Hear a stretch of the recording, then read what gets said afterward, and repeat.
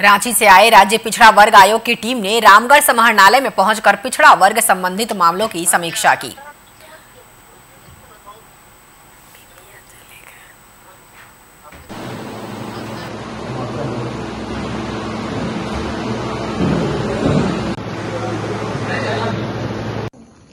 अच्छी